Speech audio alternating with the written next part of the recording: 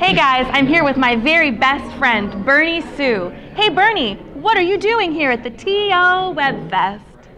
Well, I am speaking on two panels at the WebFest, one about branding web series and one about crowdfunding. Okay, tell me about those things, because I don't understand those words. Uh, branding is when you uh, ideally you know, have one a, a brand advertise or integrate into your show.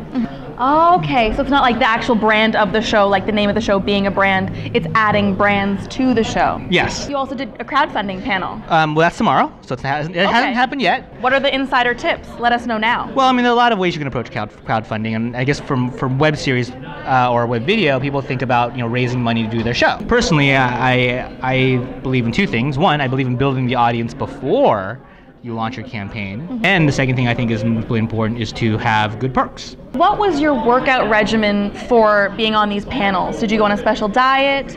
Did you um, do anything different? Well, I've been only been eating, ch- eating chicken the last few days, Mm-hmm, right? And and some you know pure pure vegetables. Trying to stay away from processed food, but I had some like sweet and sour sauce this morning. He cheated. lunch. He Yeah. cheated from his workout regimen. You know how many coffee shops I went to today to look for almond milk? Three. Almond milk. What is your favorite Spice Girl song? And will you please sing us a little tiny snippet of that? Wannabe, Okay. right? How does that go again? I don't remember. My fans do. It's been a great disappointment. Thank you so much, Bernie Su. You're welcome.